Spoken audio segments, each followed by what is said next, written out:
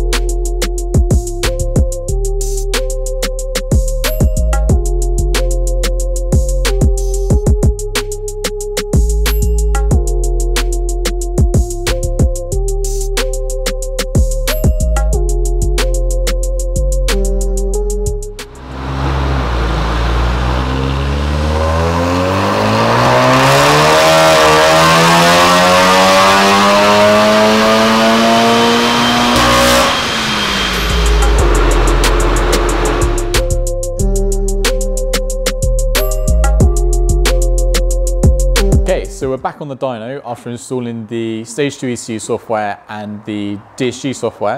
Um, obviously the reason why we're installing the DSG software amongst like faster shifting um, and all that kind of stuff, um, most importantly it's got the increased clamping pressure to make sure that the clutches don't slip um, so you can maximize sort of like the power and torque gains. Just go back over um, the upgrades that are installed on this car. So obviously the car rate arrived in this morning, um, standard ECU software, but had an intake on it. Um, so the car was making around 315 horsepower and about 300 foot-pounds of torque. Um, so a little bit over the, the standard figures with those mods. We've installed the uh, Scorpion downpipe, the Wagner intercooler, and obviously done the, the DSG and the ECU software. Um, and you can see the differences behind me. So the dotted lines are as the car arrived today, and then the um, solid lines is as the car is leaving now. Um, so the blue line is the torque and the red is the power. So talking about peak power figures, um, it's gone from 315 horsepower all the way up to about 375. And then in terms of torque, it's gone up from around 300 foot-pounds to about 390.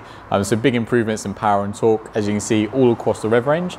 Um, this particular car actually makes standard horsepower now at 4,250 RPM. So the car is going to be absolutely incredible to drive. Um, obviously, massive power as well at peak, but also under the curve as well, which is where you're gonna be driving the car most of the time. Um, yeah, so we're gonna hand the car over to the customer and let them enjoy it.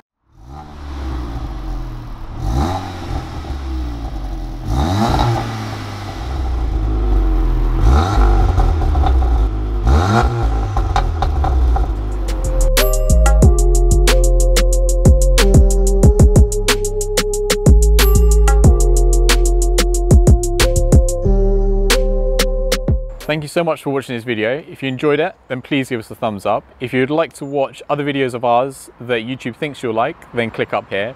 If you'd like to watch some other videos that we have in the same playlist, then click here.